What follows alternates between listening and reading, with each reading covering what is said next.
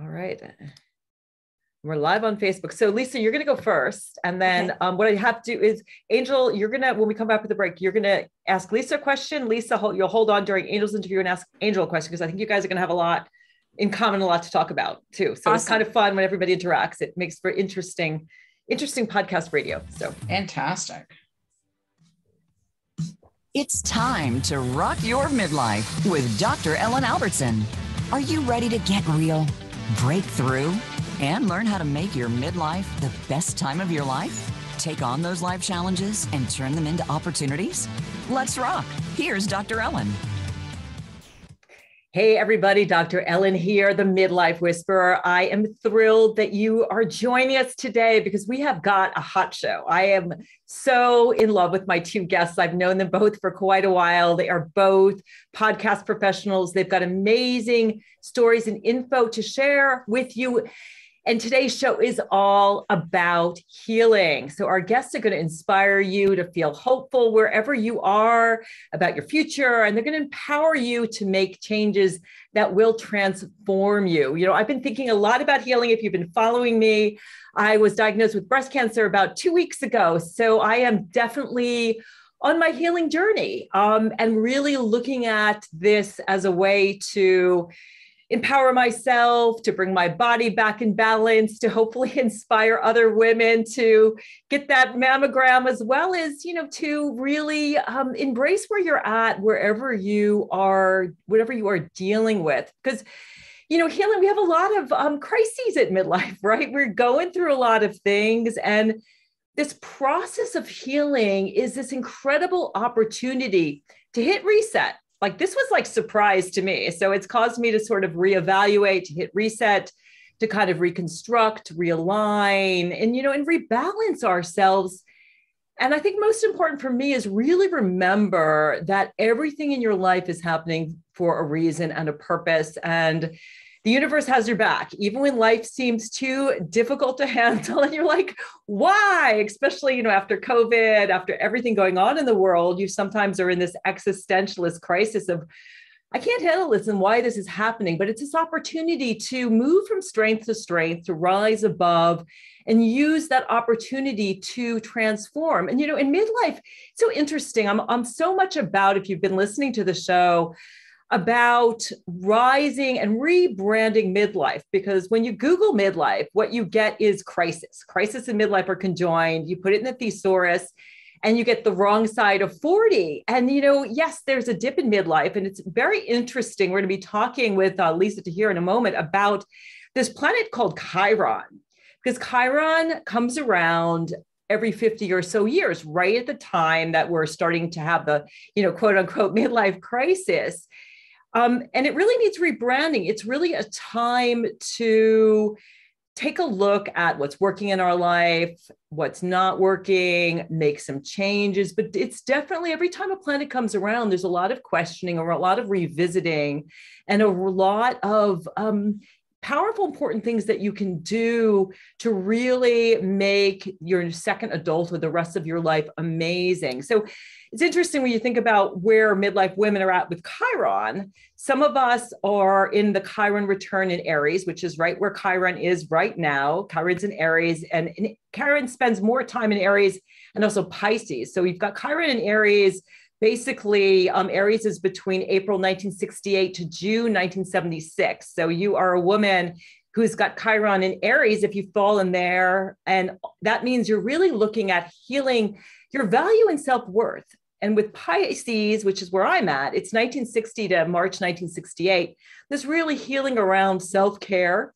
Um, this idea of always putting others first, and it seems to be a common theme with a lot of us these days. So, we're going to be talking about that how you can heal those core wounds that you might be experiencing. We're also going to be talking about healing wounds around money because we have relationships with people and we all have a relationship with money. And Anjel Hartwell, our second guest today, is going to really help us to heal our issues with wealth and with money.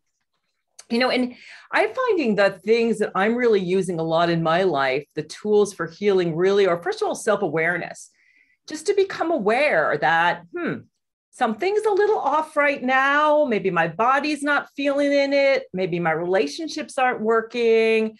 maybe you know my mind and my thoughts aren't where I'd like them to be maybe i need to do some emotional healing so start to become aware of where you're at and where you need to put energy and healing and where these opportunities of transformation are because when you find what needs to be healed that's really where the transformation is happening which is so exciting and also self-acceptance instead of fighting it and i'm gonna you know i'm not into this like f cancer and fight cancer i'm much more about accepting understanding what I have to learn spiritually, how this is going to help me move forward with my life, how I bring my body back in balance, how I can support myself with both conventional therapies as well as uh, um, supportive, integrative health. So, the self awareness, self acceptance, and finally, of course, self love, which I talk a lot about self love, self compassion, self care, all of those words around not saying why is this happening to me? criticizing yourself because maybe your lifestyle hasn't been where it needs to be or you're in a relationship that you're beating yourself up about because it's not working. But loving and accepting yourself and giving yourself compassion for wherever you find yourself. Self compassion is all about treating yourself the way you would a good friend and i know in my own life self love, self compassion, self care have been really my most powerful tools for transformation. So I want to just share a quick process and then we'll bring on our first guest, uh, Lisa Tahir. So the first thing you want to do is shift your mindset. If you're if you're finding, you know, I need to do some healing, start with remembering that wherever you are, you are enough. You are smart enough, mm-hmm. you have enough resources, you are good enough, all of those things and remembering that everything is really going to be all right, that everything is working for our highest good. You know, make a decision or set an intention to change your story. You know, be a warrior, not a worrier. I'll say that again be a warrior. Get out there on your yoga mat and like strike a pose because, you know, worrying is like praying for what you don't want to happen. Get control of your story, get control of your mind and your mindset. That's number one. Next, create a plan and a strategy. You know, ask what is needed for me to heal like what do i need to shift and change in my life and you know get quiet and, and notice what shows up for you um, then figure out your why. You know you'll always have to re- that to refer back to when you're on this healing path what's your why? Why do you want to heal? Why do you want to transform? So ask that why it's very powerful. And after you do those three things take a look at your habits right? Look at forming healthier habits, whether that is habits with your lifestyle, changing your diet, movement, getting more rest, doing all the self care things, changing your thoughts and your beliefs, working on giving yourself the emotional support you need, working on your spirituality, but changing your thoughts. So that I'm sorry, changing your habits. It takes some time to change habits to really make that shift as you're going through your healing journey. Number five is find some support there are so many amazing people to support you coaches therapists support groups whatever you're going through you're not the first person to go through this. You're not the first person to have these emotions these thoughts these challenges. Find some support. And then finally you know what i'm leaning into so much these days is prayer and meditation. Block out time even if it's just 5 minutes first thing in the morning i find is the best thing like to set some intentions to connect with the source spirit god whatever you call it and ask for some you know some help from the divine within and without and notice what shows up for you. So i hope that you will take those to mind and know that i am here if you want to reach out to me. You can always grab me at the midlifewhisperer.com. That's the midlifewhisperer.com. I've worked with hundreds of midlife women, and I'm here to help you heal and transform. So let's get into the juicy part of the show. We are going to bring in on our first guest. She is Lisa Tahir, and she is author of The Chiron Effect. For those of you who are watching, this is this beautiful book, which I, Lisa, I am loving it. Um, and we actually met about two years ago. I was doing a summit called Rock Your Midlife, and Lisa was a guest on my summit. And then I was a guest on her radio show. She has a fabulous podcast called All Things Therapy. She is a licensed social worker. She has a private practice in Los Angeles and New Orleans.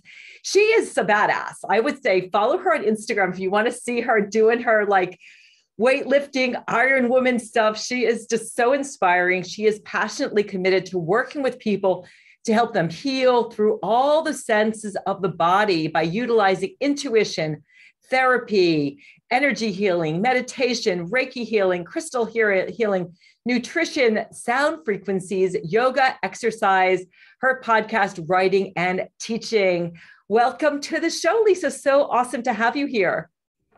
Dr. Ellen, it's so wonderful to be with you today. And I want to start with just the way that you are positioning yourself in relationship to being told that there's a breast cancer diagnosis and the way that you're holding yourself in the belief of your full healing through traditional and alternative modalities and therapies.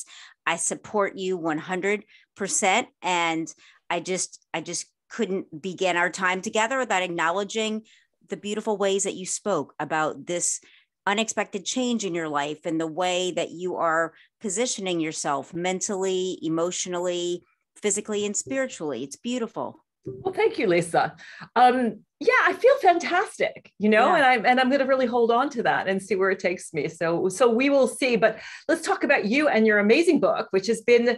I had a huge aha moment. Like I was reading your book and I finally understood like what's the difference between um, body spirit and soul spirit soul piece i always had a little little trouble with that but i was reading it and it really it hit me so it's just such a beautiful work why did you write the book tell us the story of how why you wrote it and how long it took I, I wrote my book, The Chiron Effect, because even after being a licensed therapist for over 20 years, being in therapy myself for numerous years, I still felt, Dr. Ellen, like there was something. Why wasn't I as happy as I believed I could be um, and wanted to be. And I turned to meditation and I literally heard when I asked the universe, what's going on here? How can I help myself and my clients, like really authentically feel happier more often than not, outside of just peak experiences that we have doing something fun on vacation or gathered with friends, more of a consistent, permanent sense of peace and well being. Like, help me with this. And I literally heard Chiron in in my heart in my mind and at first i really wasn't that enthused because my reference of chiron was from grad school carl jung's work with the collective unconscious the archetypes chiron and i just ignored it to be totally honest and over the next few weeks it kept coming up chiron chiron chiron and you know when the universe is mm-hmm. prodding at you i finally was like oh okay, let me just Google this. And I started to find out so interestingly that Chiron is in astronomy, a minor planet and comet that was discovered in 1977. And it orbits between Saturn and Uranus in our solar system and was named Chiron after the Greek centaur of mythology, the founding father of the healing arts, Chiron. And then that led me down the rabbit hole of in our astrological birth chart, Chiron is a placement in Aries, Gemini, Scorpio, Pisces. Just like you know your sun sign, your rising, your moon, Chiron is in an astrological sign and house. And I started to just get curious about what this reveals about us and it reveals an area on a spectrum between vulnerability and core wounding. And we have a relationship to this part of ourselves, be it our self esteem, being outwardly successful, even financially lucrative, yet feeling like you're never enough. And that disconnection mm. is what causes us to feel an imbalance inside of ourselves that's often not apparent to anyone else but us, but it can be debilitating and certainly cause emotional disturbances, health issues, and all kinds of things. So I spent about four years researching and writing to really understand the 12 placements of Chiron in each astrological sign. And I hope that it helps people really be able to feel the happiness they want to feel more easily. Yeah, it's a very interesting how we're we're develop we're finding new planets, and you've actually started this whole area called psychoastrology, where you're utilizing astrology to help with psychotherapy. Can you explain how you came up with that and how people can utilize their birth chart to help them with their uh, spiritual psycho healing? Sure. I I see like a lot of people astrology is a beautiful symbolic language. It's so complex and I don't attempt to call myself an astrologer because I come from this as a professional psychotherapist from the wheelhouse of personal transformation and so I overlay Chiron particularly psychoastrology is simply where your birth chart astrology meets your personal psychology.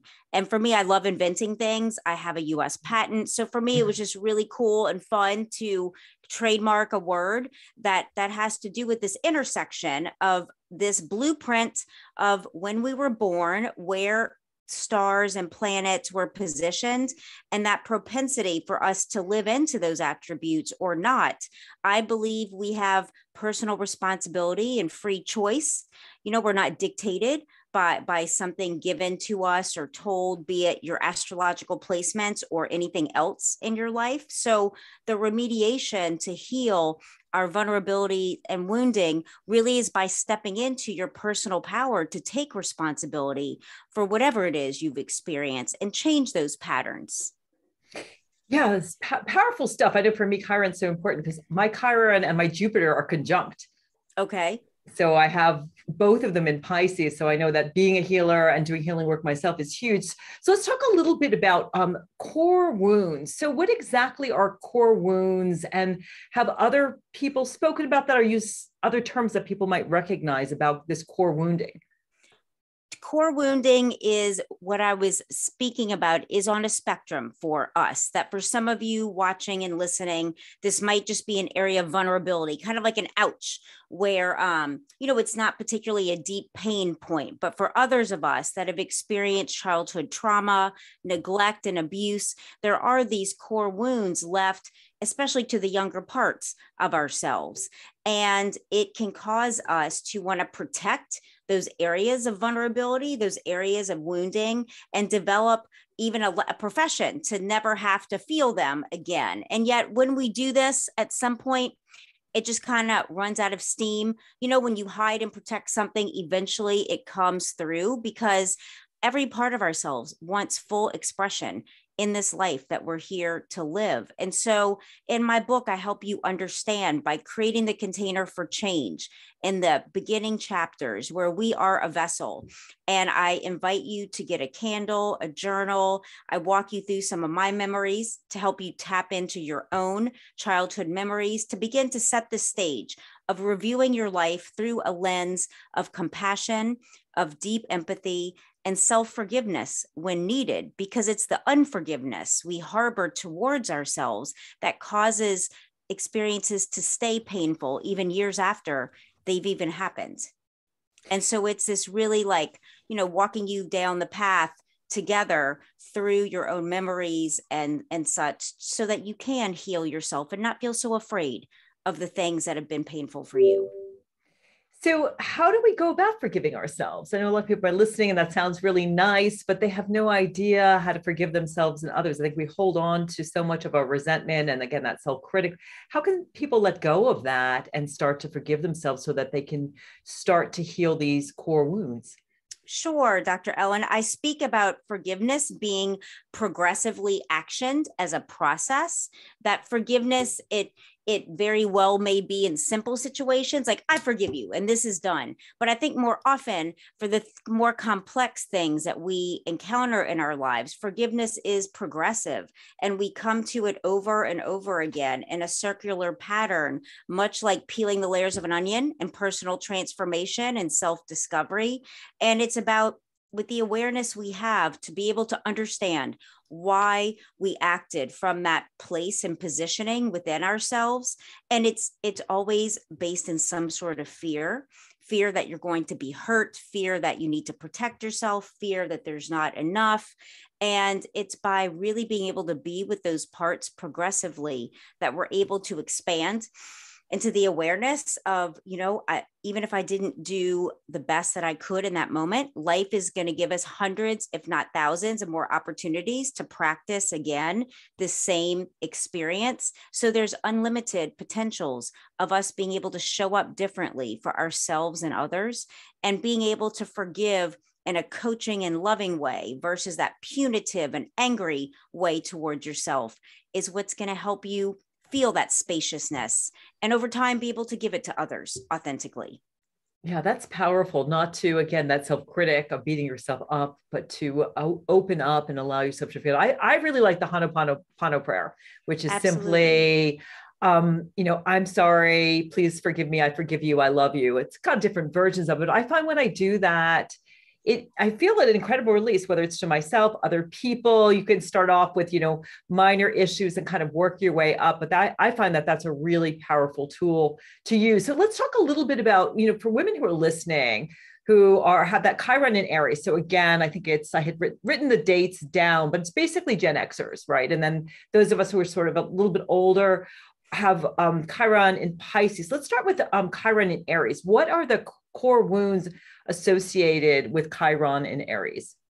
This placement has to do with vulnerability. And again, I like to really reinforce that spectrum because for, for some of you, it's it's not a deep, deep wounding. For others, it is vulnerability, where you feel really sensitive. You feel like, oh, you know, I want to tread lightly around this area of my value, of my worth, of my self-esteem, of, of how I position myself in the world to be perceived as we all we all want to be perceived favorably yet particularly for chiron and aries it's about sourcing love sourcing value and worth through performance through really you know going above and beyond. These are typically women and individuals who are type a personalities overachievers. You say yes because you really want to say yes to everything, but it's hard for you when that yes starts to inhibit or affect your personal health, your personal well being. It's hard for you to go back and say, you know what?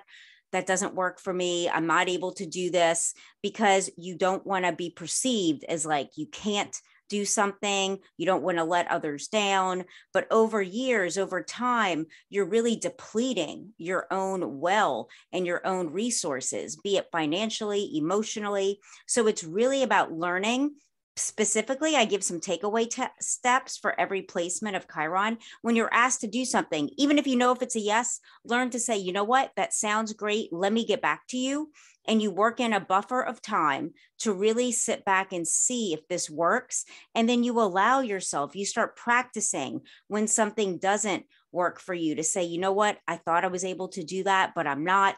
And I bet you that 10 out of 10 times people are going to understand. It's just your own judgment of yourself, believing that they won't, or you're somehow going to be perceived as being flaky. But if you don't address this underlying issue of of really monitoring your own value and worth and what works for you to show up, you will end up being flaky because you'll get to that breaking point where you just snap and you can't take anymore. And, you know, so it's really about staying out ahead of things and being mindful of what you can give to others and what you need to give to yourself. And again, if you're listening, the Chiron in Aries is April 1968 to June 1976. And what I find when I'm working with women in this who have the chiron in aries or even those of those of them those clients who don't is that when we don't have a high level of self-worth what ends up happening is we, we fill up our backpack with this not enoughness and we end up carrying that into our future and that's what shows up.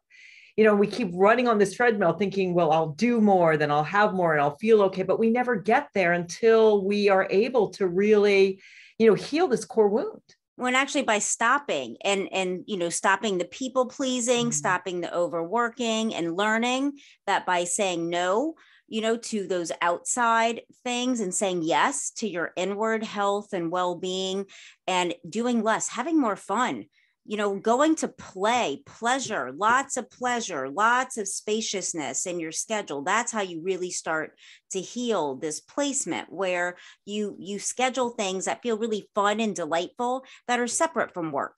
That's really key.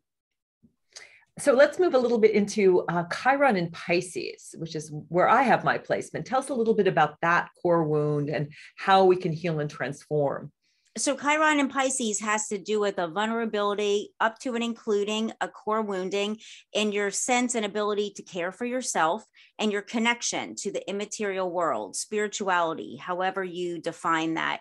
Be it through religion, um, through meditation, through prayer, through nature. And Mother Teresa had her Chiron in Pisces, and she's a wonderful example of how she learned to give so much, but also maintain her own health and well being, to have that balance. So it's really about you learning to prioritize your physical health your emotional health, putting on your own oxygen mask first, like they say on every flight before the flight takes off, before you put the mask on children, which sounds weird and counterintuitive, but it's so important to truly care from yourself. So you're giving from overflow or even neutrality versus your depletion, or else you can experience health issues and emotional and emotional problems.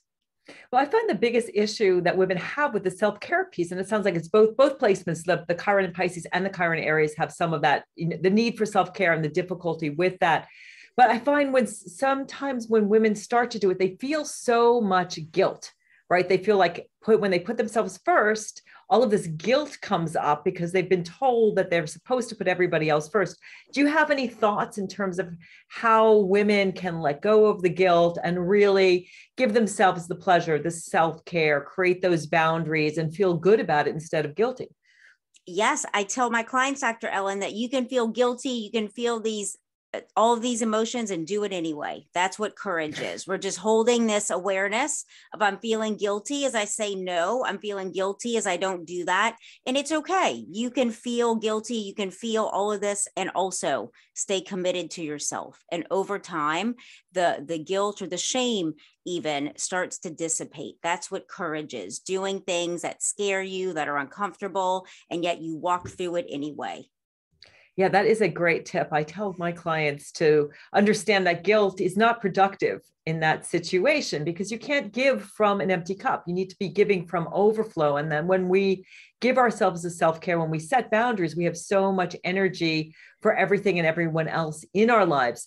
So I'm curious um, do you heal the core wounding once and for all when you do the forgiveness, when you set those boundaries, when you say no, when you feel that you really are enough, you feel and value yourself? Are you done with the healing or is this something that continues throughout the lifespan?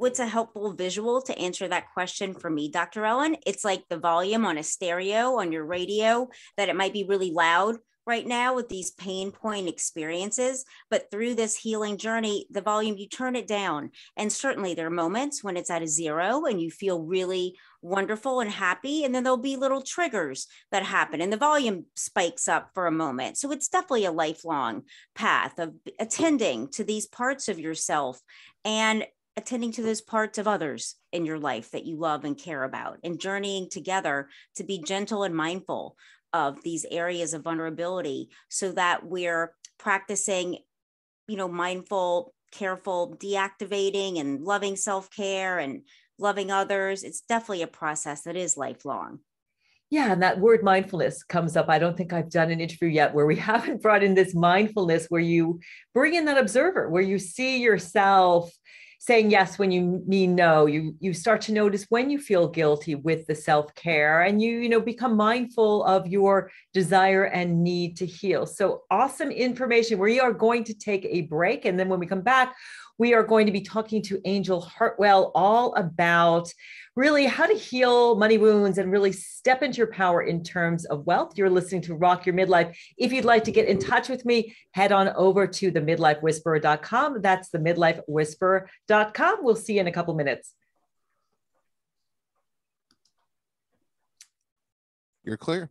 All right. That was awesome, Lisa. Thank you. Thank you. Complex stuff. Yes. So when we come back, I'm going to have Anjel ask you a question. Anjel, do you have a question for Lisa? You don't have to say it now, but ask well, Lisa. Six thousand, of course. we have six thousand questions for Lisa. We don't have time for all the questions. So we have so I will formulate a question. I am sure it will land exactly on time. Yeah. How is the book doing? And how are you doing too? I know you, you lost your cat a week ago. and That's really hard. Thank you. You know, it's a process. I had a cat Angel for 17 years. He was like my best friend and unexpectedly transitioned to heaven uh, like in a day. It was very unexpected his illness. And so I'm I'm on the healing journey. I'm definitely, you know, a day at a time, but yeah, my better. my kitty, I had to say goodbye to. The, the I am king, so sorry. The king of all cats. I had to say goodbye to him and uh, literally left to go to a live event. And three days later, Corona shut everything down. So, oh gosh, yeah, it was. Uh, it was. It's. It's. Uh, you know, when you have a medicine animal. Yes, that's it, Anjel. Yes, uh, he was a shaman, a healer. I've had clients. Totally I haven't seen in 10 years send emails because they saw the post on LinkedIn. I yeah. just want to thank you and Jiggy. He helped, you know, he'd crawl in their lap in the perfect moment or just sit next to them. He was so intuitive. Yes. Yeah. A healer.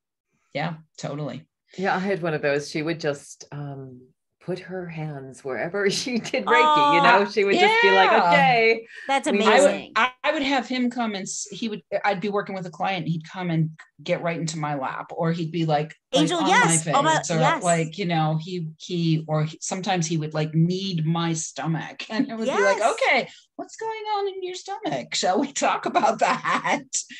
yeah, he was, he was quite the, uh, quite the magical being. And yes. I have, I have, um, chosen not to to uh, welcome another medicine cat into mm. my life at this point. Yeah, yeah I yeah. hear you. Yeah, I'm I'm not uh, not going in that direction at this point, but it was a powerful a powerful allyship. Yes. So I am sending condolences to you, Lisa, as you navigate that. Thank you. I have a yeah. second little calico you might have seen in the background. I did. I saw the yeah. calico. And she loved him. She loved Jiggy was his name with the J so much. So I feel as well, just her and I for now, like reestablishing this new yeah. baseline. We are coming back. Yeah. Right. And Ellen, you're going to have me ask her a question. And yes, and then we'll go. We'll have your interview. You are listening to Rock Your Midlife with Dr. Ellen, the Midlife Whisperer. Have a question for Dr. Ellen or her guests? Join us on the show at 866 472 5788. That's 866 472 5788. Now back to the show. Here again is Dr. Ellen, the Midlife Whisperer.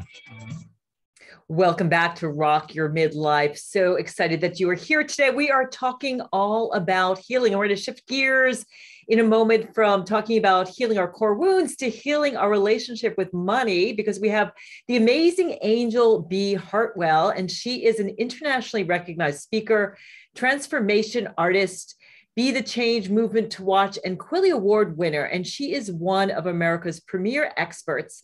She is an executive producer and host of the award winning Wickedly Smart Women podcast. I was on her podcast, it was a blast. It's phenomenal.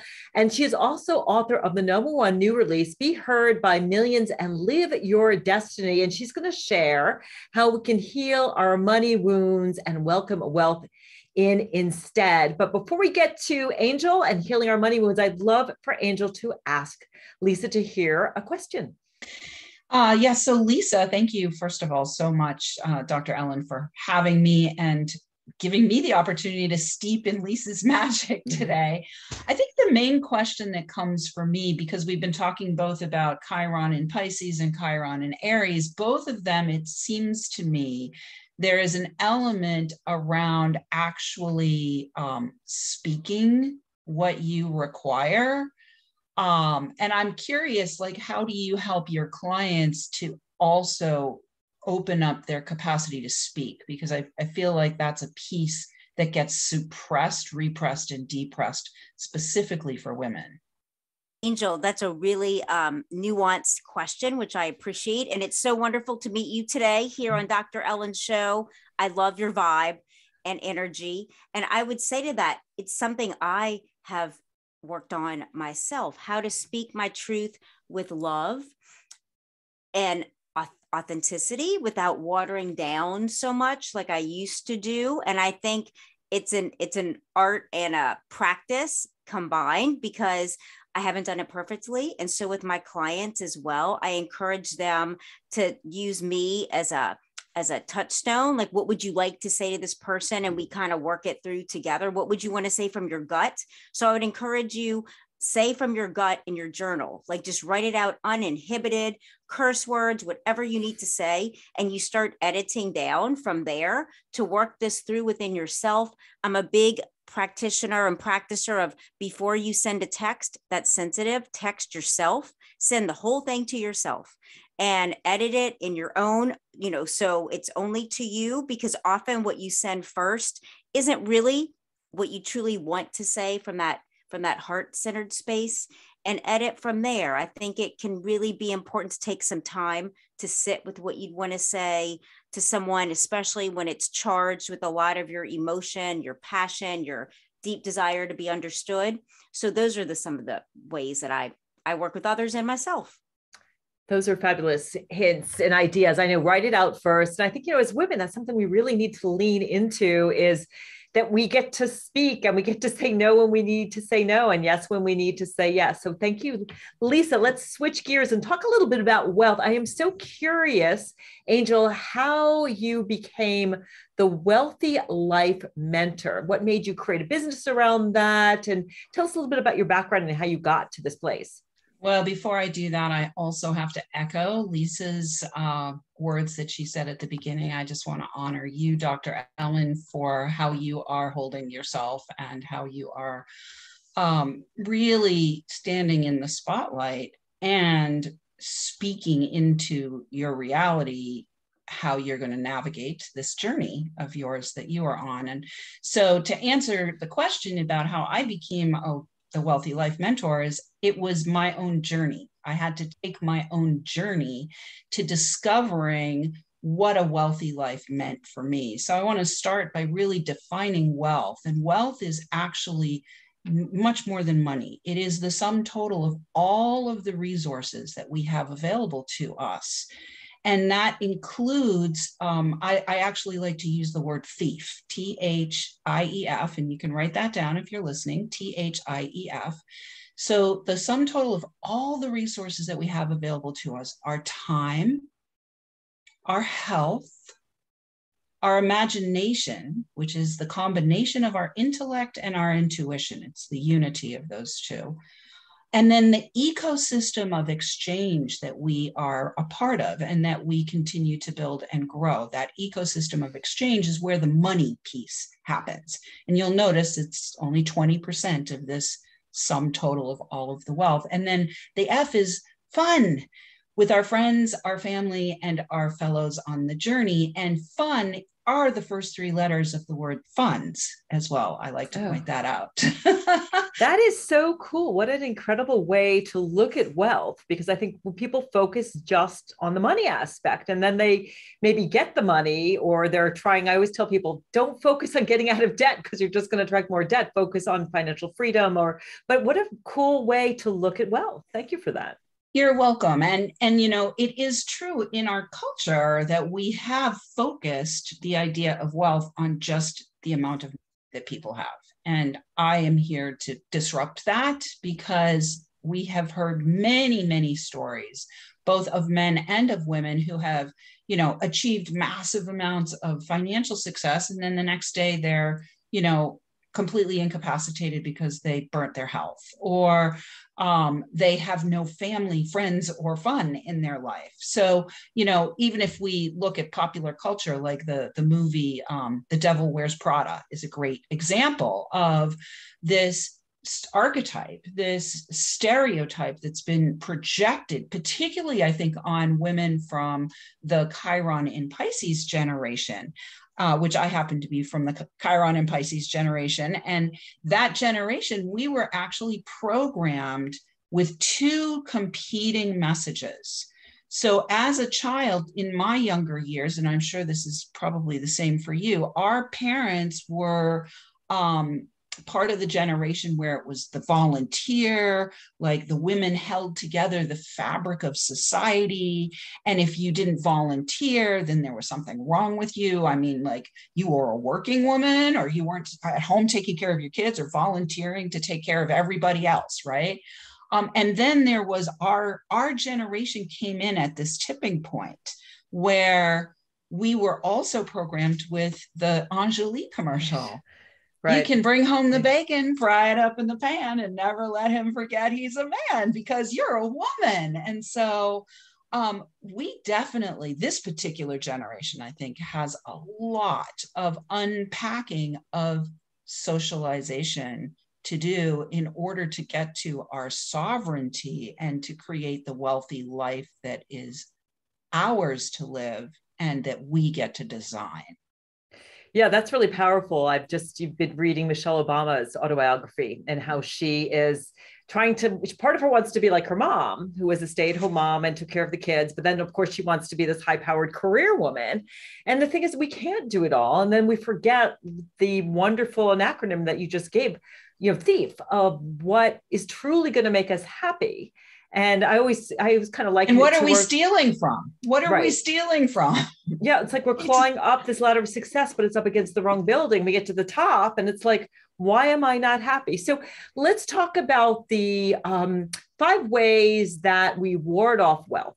Can you share those? Sure. Yeah. So the five ways that we ward off wealth, and often these are inherited they come from social conditioning or cultural conditioning. They come from you know the education system that we got. They come from our parental uh, attitudes maybe wounds that we had in childhood.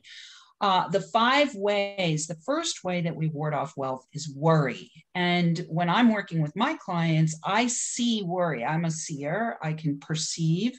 And when I see worry in people, what I see is I see a musty, smelly, moldy old army blanket that's wrapped around whatever we are worrying about. So if we're worrying about our health, that's what is the energy that we are projecting onto our health. If we're worried about money, that's the energy that we're wrapping around money. Well, you know, money is going to run for screaming from that, right?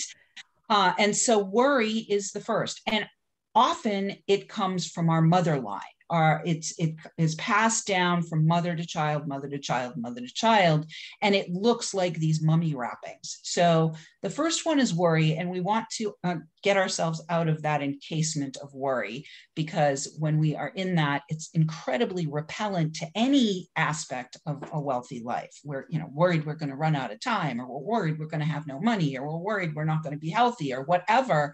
It's actually creating that reality for us. What's like um, praying um, for what you don't want to happen? Correct. That's and I'll never is. forget the first time that I really got this. The first time I really got this, summer of 2004. It's hot. I'm out in the backyard mowing my lawn, and I have not had any income for like two years because I left behind the real estate career that I had for 20 years.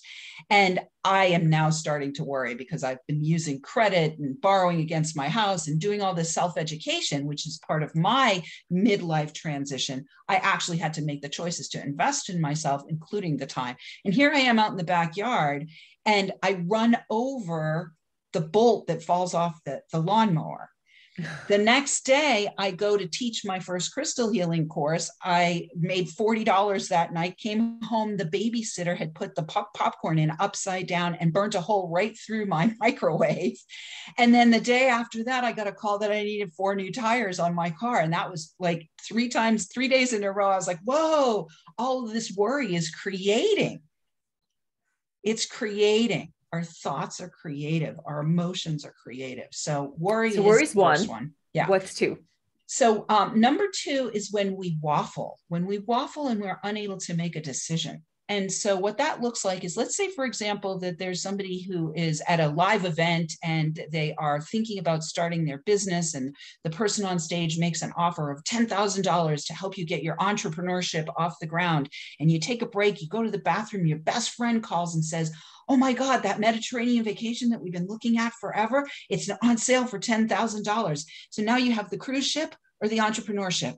Cruise ship, entrepreneurship, cruise ship, entrepreneurship, cruise ship, entrepreneurship. And you can't make a decision, you don't make a decision, and both ships sail. So waffling is going to ward off a wealthy life because if you're indecisive, you're basically telling the universe, I don't know what I want. I'll take whatever, right? I'll take whatever. And so you end up with a whatever life. You don't end up with a wealthy life that you have consciously chosen to create and you have designed. Um, the third way that we ward off wealth is withdrawing. So if you're investing your energy, your time, your commitment into maybe creating a business or um, you know creating a healthier life for yourself that's going to be um, have your body be more stronger or whatever. And then you get going down that path and then all of a sudden something shifts and you start to pull your energy back from that. And so when you p- withdraw your energy there's no there's no power there anymore to to bring that into life to bring whatever it was that you were focusing on into life whether it's more fun or whether it's more um, you know building out your ecosystem of exchange or whether it's working with your intuitive knowing when you pull back then there's there's no connection and because there's no connection there can't be any creation so that's the third way that we ward off wealth. And I would let people know too that you have a quiz too. Yes. Can you tell people where they can grab your quiz so they can find out yes what their specific at. issue where they're at? Yeah, so the quiz you can find at quiz.wealthylifementor.com. That's quiz.wealthylifementor.com. And when you take the quiz, it takes like seven or eight seconds. like it's like eight questions. It's not a long quiz, but it will give you the areas where, you know, it will give you a grade basically on how uh, how well you are ready to receive wealth. Like, are you ready to welcome wealth? What's your readiness for welcoming a wealthy life by design. And so it will score you uh, based on all five of the ways that we ward off wealth. And you'll get that information as soon as you take the quiz. Okay, so we have, let's see, worry, we have waffling, we have, was it warding off? Withdrawing. Withdrawing, and what's Yeah. four and five? Four and five, wine is one- of them. Wine, When we're okay. whining. So when we're whining, and generally it's over wine, when we're whining, we are actually uh, energizing, we're complaining, we're bitching and moaning about a specific circumstance, and we're getting others to collude with us about their circum this particular circumstance. Generally, when we're whining, we're we're bitching and moaning and complaining about something that we think is wrong. Okay. Now, you are a beautiful example of the opposite of this, Dr. Ellen, because you have asked both of us to collude with your vision for perfect health. Right. And so, as you can see, when you're whining, generally over wine, all you're doing is energizing what you don't want. And you're actually inviting in more people to energize what you don't want. Now, is there a place for people to talk about what's not working? Absolutely. The place for you to talk about what's not working is with your therapist. The place for you to talk about what's not working is in a container with your coach or your mentor or your guide that you're working with, that you've invested with to get help on this particular situation. There are containers for you to bring everything that is going on. If you're feeling sad, if you're angry, if you're upset, or whatever, but it's not whining over wine because when you whining over wine, all you're doing is engaging and enrolling other people to affirm your challenges rather than support your victory. And it's so interesting too. It goes back to what I was saying at the beginning of the show about habits. We are so in the habit of worrying, and that's just neuroscience. Our brains are designed to constantly scan the environment for what's wrong and worry about things. And this complaining is sometimes a way that we connect with others, but we really need to work on if we want to heal and we want to live a wealthy life to work on ending our constantly complaining. I've done, I do often with my clients like a 30 day no complaint challenge. Like you have to go Mhm. 30 days without complaining. And if you complain, then you got to start all over again. But I love holding container because there is a place where you need to sort of see what's not working and deal with difficult emotions. We're not talking about toxic positivity here, where everything is great all the time because it's not. Believe me, I have my moments where the tears are coming and I'm like, Mhm. this sucks. I hate this. But then you have to pick yourself up and see, okay, what are how are we going to make lemonade out of this? So what's number five? The, the fifth So way that num- we ward off wealth. Number five goes back to our volunteer mentality, and that is waiting on. Okay. So, waiting on is different than being patient. Waiting on is, uh, it shows up in one of two ways, and sometimes both. It's waiting on the handsome prince to come along and rescue you, right? Or the, you know, outside force to come along and rescue you, and you're just waiting on them. And there's no energy in you other than this energy of i'm desperate. I'm sitting here alone. I don't know when it's going to happen but i'm waiting on it. It's like my day will come someday. But you're not taking any action you're just in this passive mode. The other way that waiting on shows up is when you're waiting on everybody else, like you're taking, you're caretaking everyone else. And, and this happens so often. I see it so often in like mastermind groups or group training programs. There's always Susie Sunshine who's helping everybody else out. And at the end, and I'll raise my hand because I did this.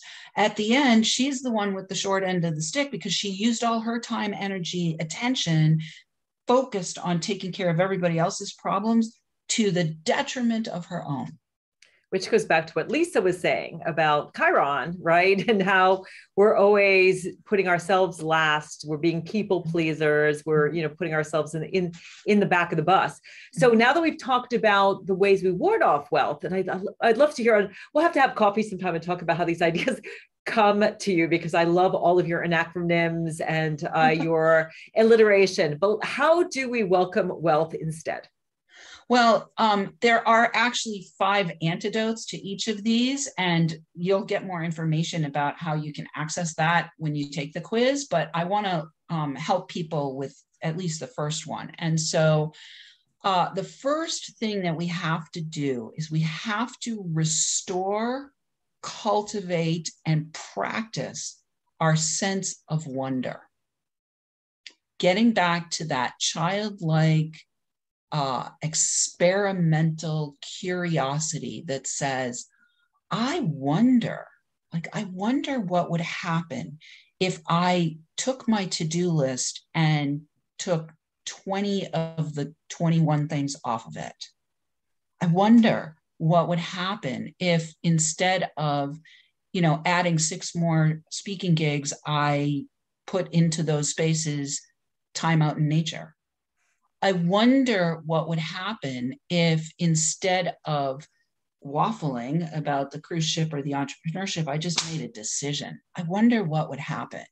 And so wonder is the first step in cultivating that sense of joyous curiosity, exploration, experimentation, giving ourselves permission to get back to the, uh, as Robert Holden calls it in his book, Lovability, the unconditioned self, getting back to that unconditioned self and using wonder as our compass for how we're going to channel our energy so that we can create a wealthy life by design that works for us as an individual.